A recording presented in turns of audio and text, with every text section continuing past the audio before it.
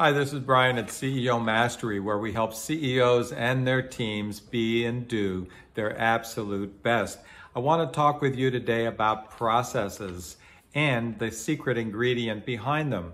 Processes, processes are important. McDonald's proved that decades ago when they were able to get extraordinary results from ordinary people on a repeated basis through processes franchises have been copying that model ever since. And we know in our businesses that we need to codify how things are done, continuously improve them, but codify them into repeatable processes, teach people how to follow those processes. but processes are not enough. We all know things that we have to do that we don't do. So we have to want to follow the process. Wanting is a feeling and feelings drive action. What I like to say is emotion drives motion. Great leaders know that, and they work hard to tap the hearts and the feelings of their people so their people follow processes, go the extra mile, and, and so forth. Napoleon Bonaparte is a great example of this kind of leader. And uh, I'm reading a book about him. It's about this thick. I'm only halfway through, but it's, well, even a third of the way through. This guy lived a life just unbelievable. I highly, I highly recommend reading about him. So he won many, many, many, many battles. I think he won like 30 out of 33 battles or something. So extremely successful. Uh, and a great part of that was because he was such a great battle strategist and tactician. He had these battles choreographed perfectly. But for that to work, he had to have his soldiers execute on the choreograph, execute on the plan, follow the process, uh, even under very difficult circumstances. Not only were they being shot at and killed, but many times they were exhausted. So, but he was able to do that because he created them in, in them the will to do what had to be done. And he did that through several methods.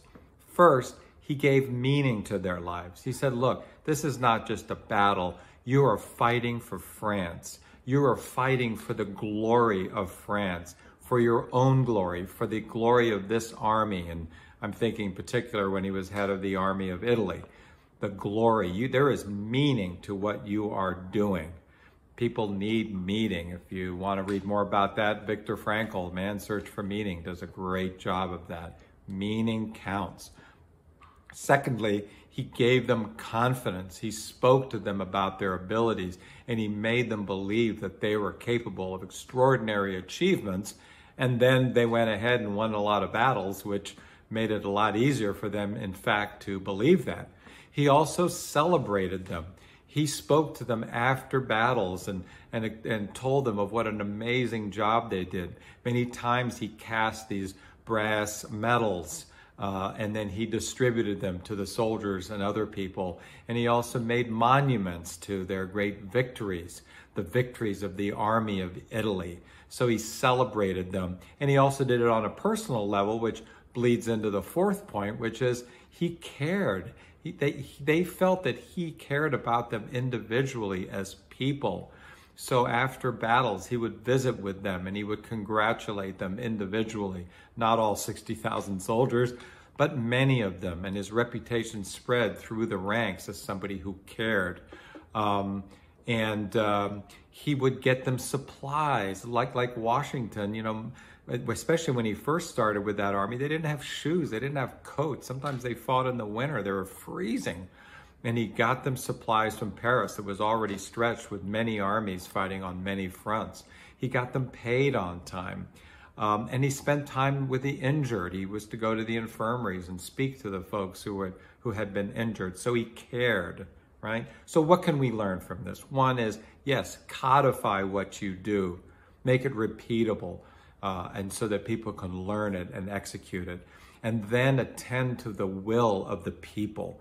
Show them that you care about them individually. Inspire them through your through your talk, through your speeches and and communications and your actions. Give them the confidence that they need. Uh, spotlight, highlight the victories, the great things that they do. Make sure they feel that they are strong and capable. and then celebrate the victories of your people collectively and individually.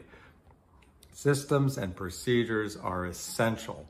They are the backbone of the business, but building the will to follow them is everything. Without that, you're just wasting your time. Um, your people must have the desire to succeed. So go on, care, inspire, motivate, celebrate. Your people are ready.